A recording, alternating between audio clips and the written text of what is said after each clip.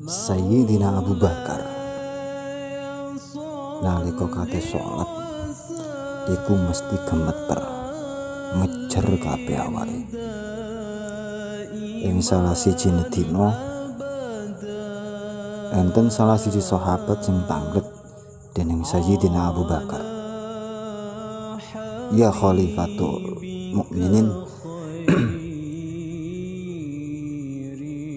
kenging nopo panjenengan yen kajenge salat niku kok mesti ngejer gemeter. Wonten menapa?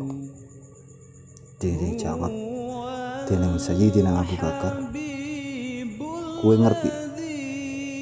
Aku sholat ke arab ngadep sapa aku sholat kate ngadep pangeran ketemu pirang perkara aku gak ngejer gak gemeter. Kate sowan pangeran. Kate ngadep pangeran.